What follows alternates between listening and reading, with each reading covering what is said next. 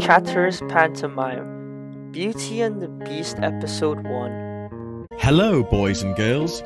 It's so wonderful that you are here to watch the Chatteris cartoon pantomime. All of us at Chatteris welcome you to be our guest as we tell you a story of true love that happened right here in Hong Kong.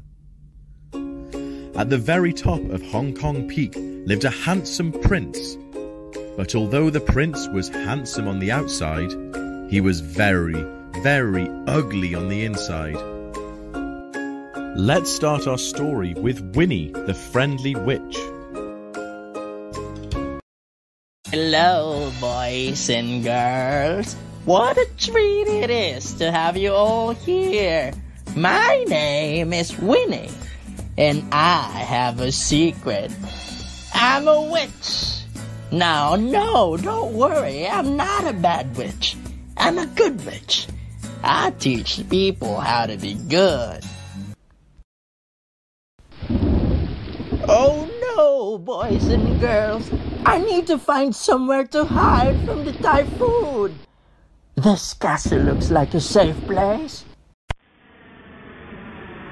Um, Master, there's someone at the door. Who dares disturb me? What do you want? I need shelter from the typhoon. It's a T10. I'm going to be blown away. How dare you ask to come into my castle looking like that? Only beautiful, important people like myself can be in my castle. Oh, please, Prince, please. It's very dangerous out here. I can grant you any wish you want if you please let me in. Should I let her inside? No, you're far too ugly. You're right, Master. She's so ugly. Wh- wh- what if I grant you a wish? Anything you want. I have a wand. I'm magical, you see? The only magic you need is making yourself disappear. Magic? Why do I need your magic when I have everything I've ever wanted?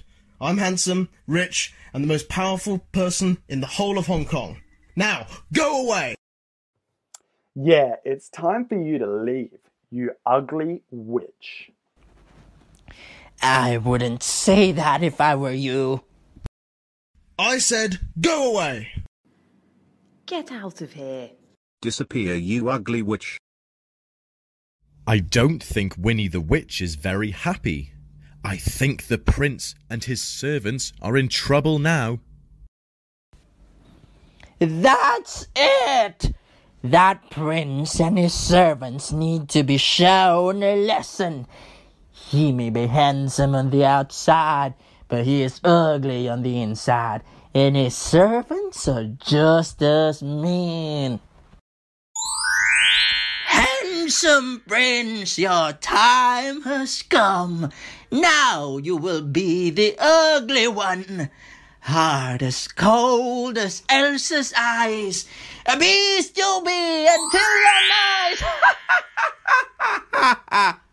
Oh, that didn't seem to work. Maybe you should join along and help me. Oh! Handsome prince, your time has come. Now you will be the ugly one. Hard as cold as Elsa's eyes. A beast you'll be until your nice. The once handsome prince was transformed into an ugly beast. Now his outside appearance matches his ugly heart. The prince was doomed to stay a beast until he learned to love someone and have someone love him back. As for his loyal servants, they were changed into objects and forced to stay with the beast in his castle. The servants were forced to live as a bubble tea, an iPhone, and a pair of chopsticks? I feel funny. You look funny. We look the same, dummy. The beast was embarrassed by his new appearance and locked himself and his servants away for many years. For who could ever fall in love with a beast? Deep in the heart of Kowloon lived a father and his three daughters, Pineapple, Bun, and Belle. Yep, you heard that right. He named his daughters Pineapple and Bun. Well, what can I say? He is a baker, and he owns the best bakery in town. And today he is travelling to a baking competition held at the top of Hong Kong Peak. Oh, here is the delightful pineapple and bun. Oh, Bun! Why are all the people in Kowloon so ugly? Yeah, why are they all so ugly? I know, Bun. They're not blessed with gorgeous, good looks like us, are they? No, Pineapple, not everyone can be as beautiful as us or as lucky. Our dad owns this bakery, so we can eat all the cakes we like. Haha! I think that you eat a few too many cakes, don't you?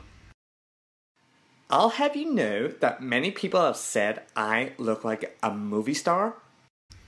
Which one? Shrek? Pineapple!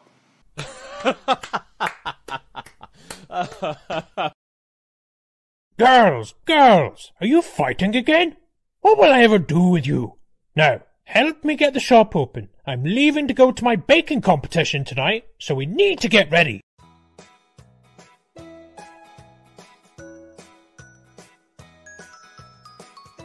His daughters were supposed to be helping him prepare for the baking competition, but Belle is nowhere to be found.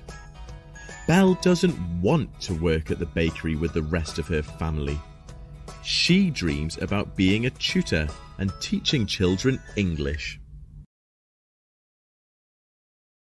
Oh, where is that Belle? She said she would be here to help me. Oh, Belle! She's probably off teaching English somewhere. Uh.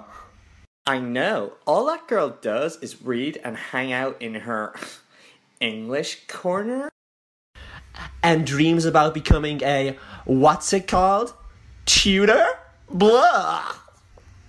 Some people choose books and some people choose looks, and it's obvious who the prettier sisters are. Oh, sorry I'm late, Dad.